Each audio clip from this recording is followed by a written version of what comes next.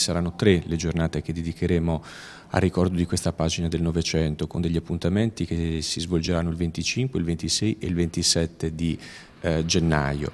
Ovviamente l'appuntamento più importante è il doppio incontro che organizzeremo con Marika Kaufmann eh, Venezia, la compagna di Shlomo Venezia, che è stato il primo e principale testimone in Europa di quella che è stata l'esperienza del Sonderkommando di Auschwitz-Birkenau, un'esperienza che rappresenta probabilmente il eh, punto più buio dell'abisso concentrazionario nazista e rappresenta in questo momento un'occasione irripetibile per poter incontrare uno degli ultimi testimoni di quelle vicende. Incontreremo Marika Kaufmann Venezia presso la Mediateca Montanari lunedì 25 alle ore 17.30 e il giorno dopo alle ore 9 presso la Sala Verdi del Teatro della Fortuna insieme alle scuole cittadine e al Consiglio Comunale. Tre giorni per ricordare, tre giorni per non dimenticare una delle pagine più drammatiche del Novecento.